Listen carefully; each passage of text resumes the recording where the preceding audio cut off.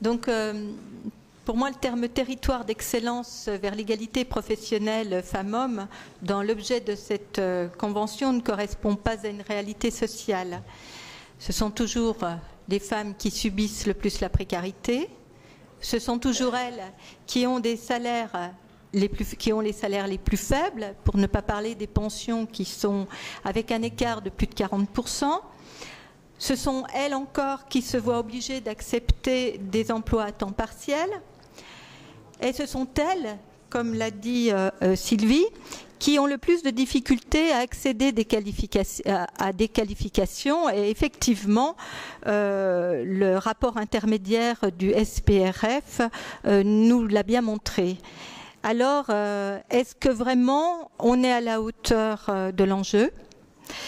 D'autant plus que je constate sur la partie financement que la région contribue à hauteur de 145 000 euros en direction des CIDFF qui font un travail remarquable en direction des femmes les plus en difficulté, et notamment pour qu'elles puissent euh, accéder à un emploi.